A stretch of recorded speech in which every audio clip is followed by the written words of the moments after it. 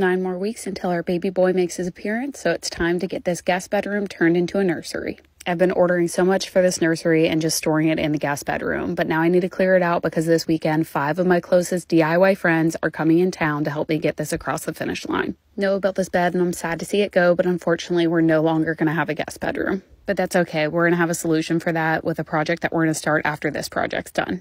The bed left these indents in the carpet, but did you know that you can put ice cubes down and as they melt, they'll magically go away?